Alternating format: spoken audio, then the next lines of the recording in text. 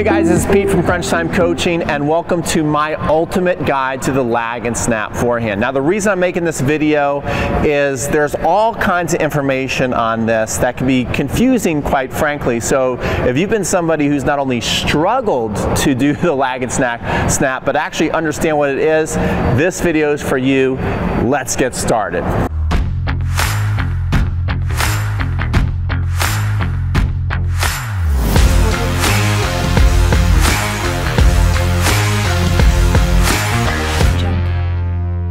So here's what we're going to cover in today's video. First of all, we're going to go over what exactly is the lag and snap. Number two, I'm going to go through some advice, common advice you've heard on the internet about the lag and snap and what I agree with and what I disagree with and, and how it will work for you.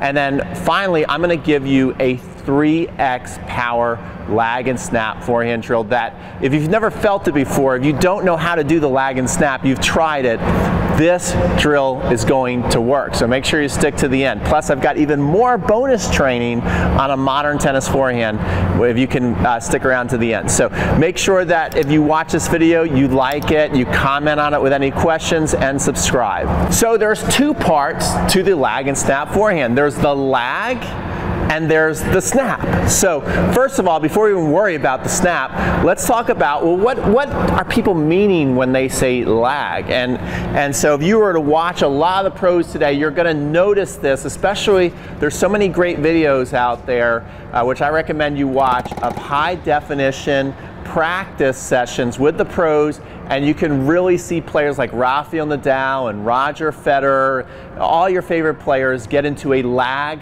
position. And so what they're doing is they're getting set and they're right here. They have their racket out to their dominant side. So I'm a lefty, so I'm out here to the left side. And then just as they, just before they go forward, they drop back into the slot that people will call the lag position.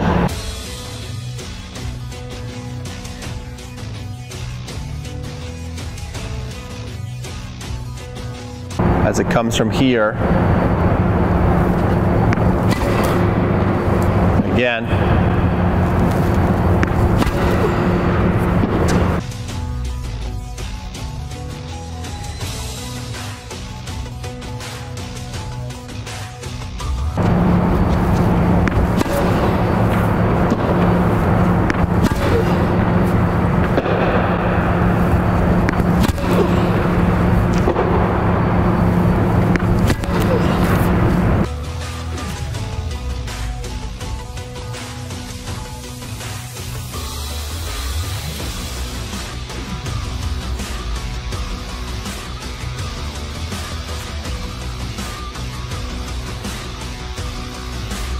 So now that you know what the lag is and what it looks like, it's like, why, why do it? What is it doing for you that you want to be able to do this. It's doing several things for you. The first one is many tennis coaches will talk about when you're getting ready to hit a forehand serve, lots of your shots, that you get into something called a pre-stretched position or a unit turn, and that's where you are loading up the court. So if I'm getting ready to hit a forehand, just by holding on to the racket here and holding it out, uh, the, the, the pros, teaching pros are teaching more and more to hold it out to your dominant side, not take taking big back swings, and by doing this, I'm loading up the core. Now, when I drop back into a lag position and start to really build that momentum forward, it starts to really help me build momentum into the shot, build a lot of racket head speed in a short amount of time because we have a shorter runway, and that's going to bring a lot of power. And also, you'll notice when I'm getting into my, if you watch the pros, when they're getting into their lag position, this has a lot to do with the grip that you're using, which I'll get into later. You're gonna notice that the strings are also facing the ground. So that's going to enable you to add a lot more topspin to the ball. So you're gonna be accelerating adding more spin, so that's gonna be able to give you a nice combination of spin and power when you get ready to hit your forehand.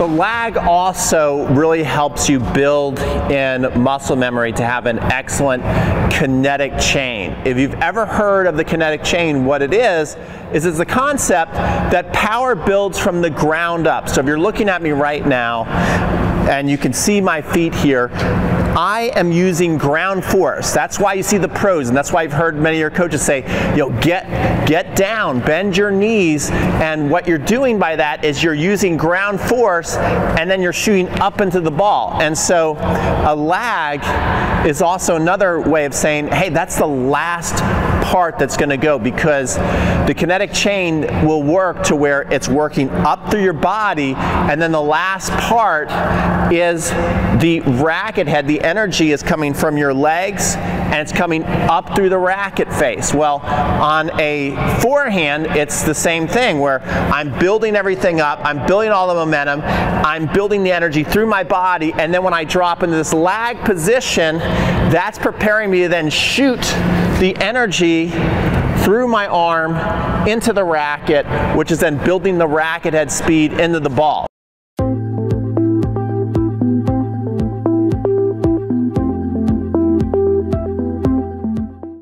So that's another great benefit of a lag. That's why we want to learn how to do it. We're here, we build it through the legs, pop up through the legs, hitting that ball, and we're adding more power and spin to our forehand.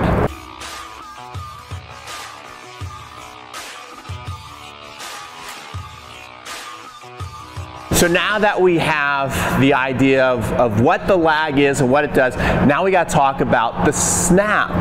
And this is where I think a lot of people get confused or start to play really sloppy tennis because the snap, most people think of it as a snap in the wrist. And if you're getting this wrong, this is where you can really not only hit bad shots, but get hurt.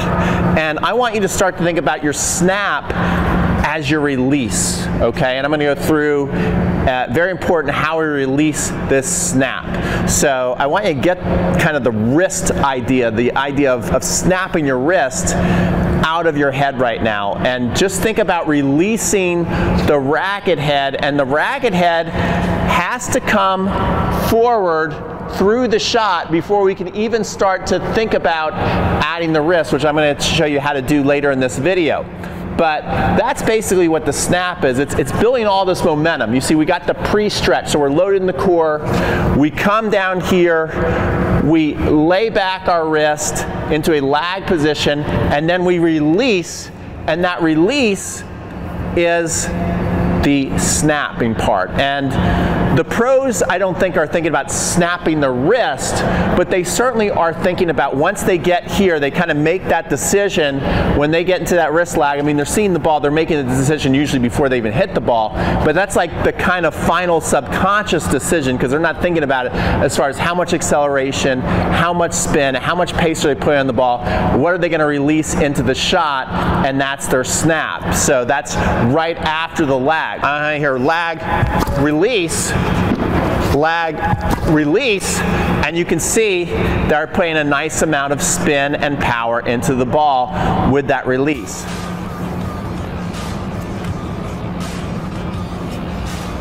Now when we release, it's important that we're not using a lot of wrist into the re release, especially before we hit, because we're releasing and snapping before we hit, hopefully you can see just by this motion, we'll even put in slow motion, that this is not going to be a very good tennis shot. And the ball is not going to go very far. And uh, I think a lot of people who watch TV think that the pros are just using a tremendous amount of wrist through the hitting zone, and the wrist part is actually going to be coming after the hitting zone, after they've extended.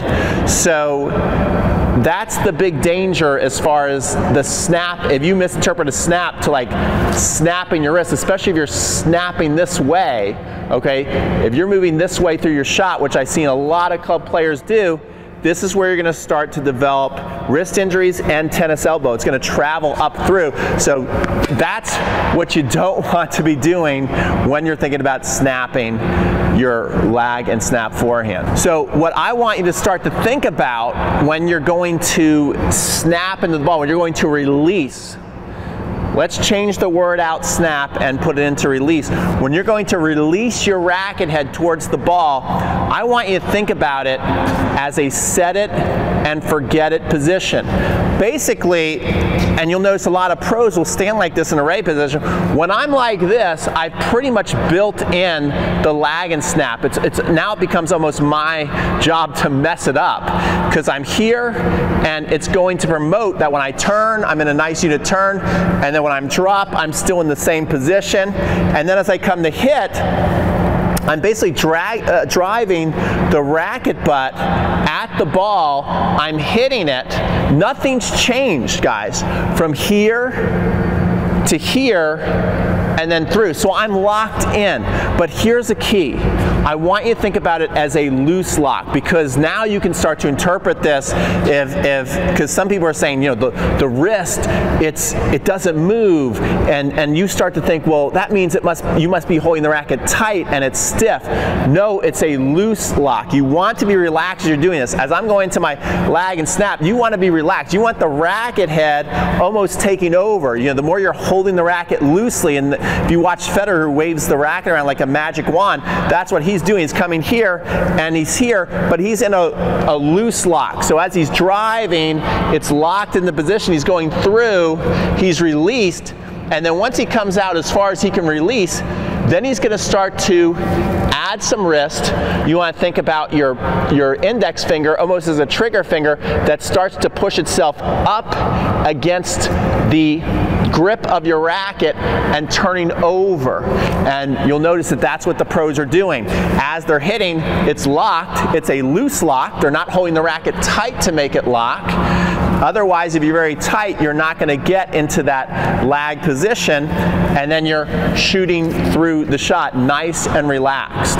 Now, another common thing that you're going to see that you're going to know that you're doing it right is when the pros release their lag and snap forehand, that as they're coming through, you're going to see the contact like this. The strings may even appear to be slightly facing down. Sometimes it will appear to be parallel. But one thing that's very common is the strings, as you noticed, stay facing the ground as it's coming through and they start to turn the racket head, which you might interpret as a snap, but they're, you know, you're using a little more wrist to complete the stroke. And then as they're done, again, the strings are going to stay facing the ground or they may even point sideways to the fence.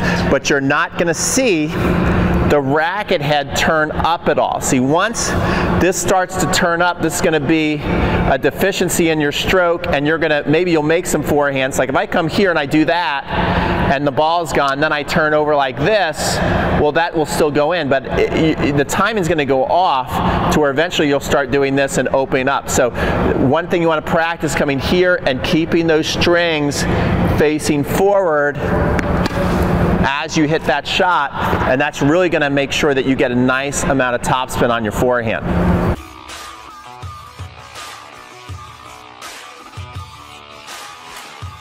Okay, so now we're getting to the really important part of this video because now we're gonna get into some pitfalls that you may be experiencing with this lag and snap forehand because I think there's been parts left out on many of these videos you've watched that I wanna make sure we don't leave out. First of all, I've heard the concept, well, you don't really have to think about the lag. It should just happen naturally. And if it's not happening naturally for you, it's not magically going to happen for you just by thinking about relaxing. I disagree with that concept. Uh, especially, we first just have to look at grips grips will determine if you have, uh, if it will be natural for you to, to lag or not. For, for example, if you're watching this video and you have a continental grip and uh, kind of like McEnroe hit, you're not going to develop a lag. McEnroe didn't really lag as I show you some, some shots of him hitting. He didn't lag on his forehand because of the grip. It, it doesn't naturally happen. You come here and you're pretty much done and then you come forward. Connors was around the same grip. He might have been even a little more over towards an Eastern, but again, he didn't, he kind of locked his wrist in here and was coming forward. There was no lag effect where this is not unique just to modern tennis people who are having that semi-western or western grip, which players did have in the 70s and 80s, if you look at Borg or Vilas or Lendl hit a forehand,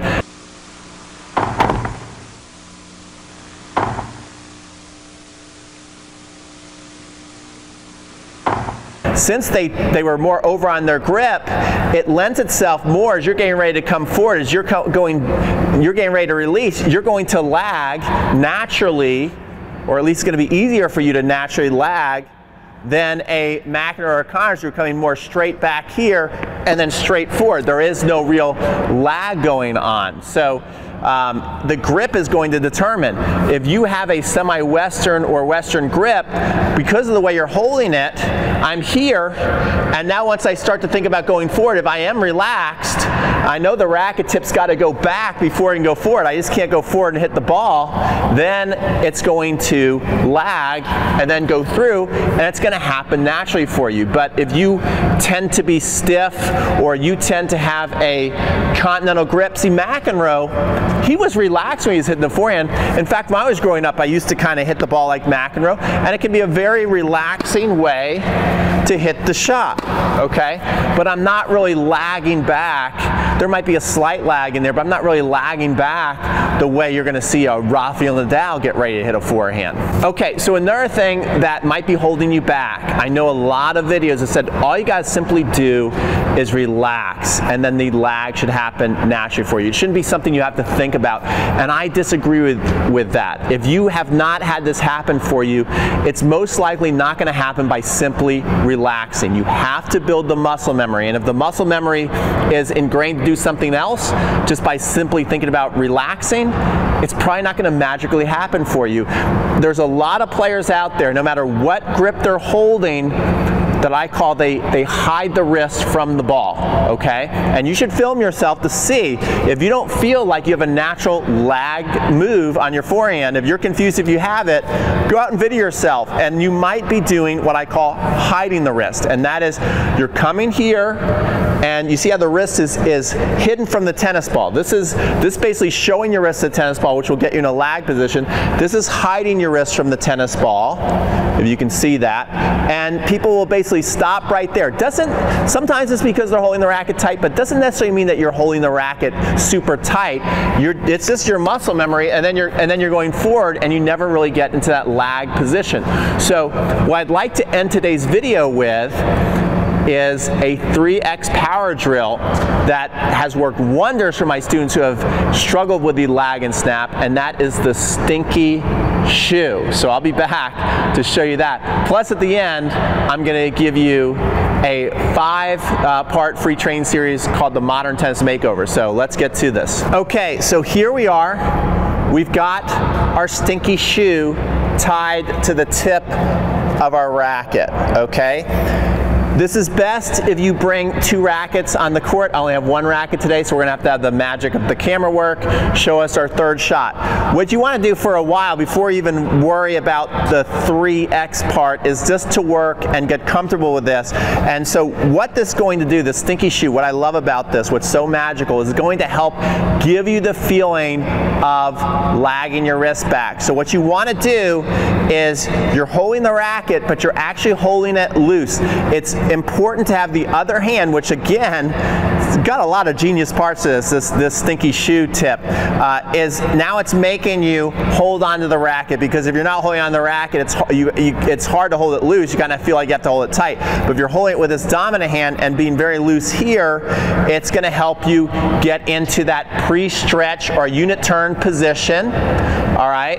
And the next thing that we want to do, once we get to here, we're going to let our helper hand release and let the, the racket just drop with the weight of the shoe, okay? And also have your legs it, it, this also forces you to go down, your legs to go down, and then pushes you into that pre-stretch position to where you're relaxed. The weight of the shoe is going to bring it back, especially now you drop the leg, so it's promoting you to use your legs. So now we're using the core, we're using the legs, we're laying it fall out back there and the shoe hits the ground and now you can see. Now once you're here, you're then going to start your release, push, release, and try and go through long and you want to be relaxed. You don't want to go through slow the way I did. You want to go at a steady uh, pace and it will help you feel the swing through the, through the ball. Help you develop a natural modern swing path through the ball. And then even though I'm coming way out here, lots of times it will have you, you watch a lot of the pros, they'll relax down here. Now again, you're thinking they're having a short swing. It's just that they're so relaxed and the shoe kind of helps you relax to where you'll sometimes finish lower as you do this. So it really does help develop a lot of what you're seeing on TV today. You're here, you're dropping out, you feel the dropout, you come forward and around, okay? We'll show you here from the side and then from the back.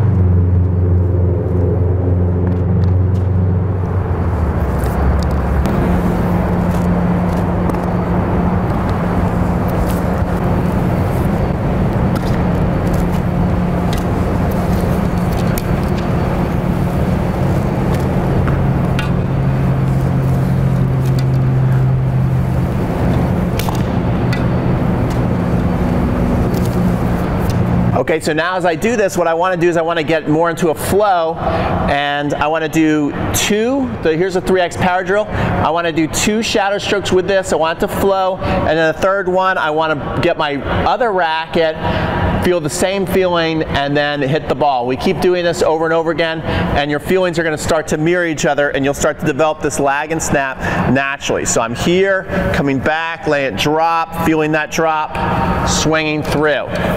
Coming here, letting it drop, releasing forward. And now here we come through with our third shot. Again, we're in our pre-stretch. We're gonna drop and snap and come through.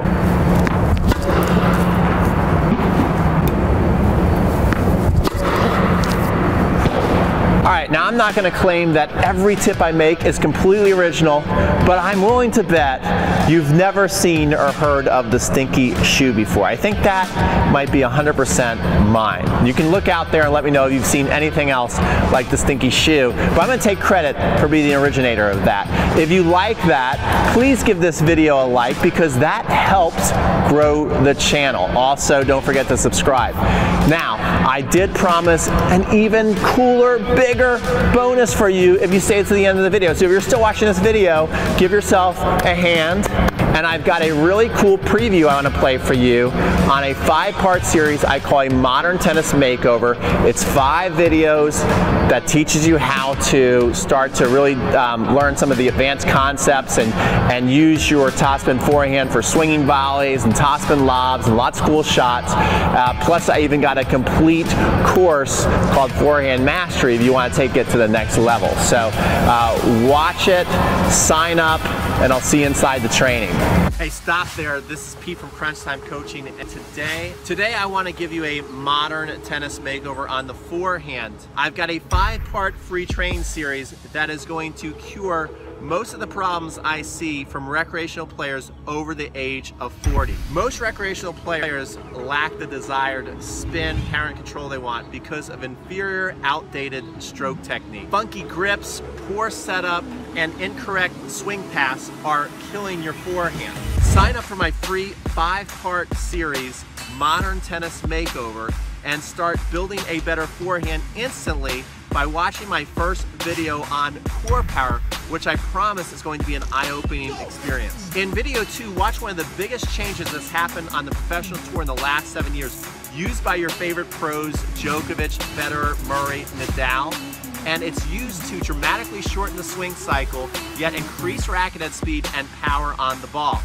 In video three, I'm gonna show you how to absolutely murder your approach shot. In video four, I'm gonna show you why not only learning a swing volley is a costly mistake, but I'm also gonna show you how and when to use it. Finally, in video five, I'm gonna show you a disguised toss and lob that's going to have your opponents walking on eggshells every time they approach the net against you. I promise fun, enjoyment, and improvement or your money back Guys, it's absolutely free. You have nothing to lose and a modern forehand to gain. So click here to start training instantly and watch the first video on core power right now. We'll see you inside the free training series.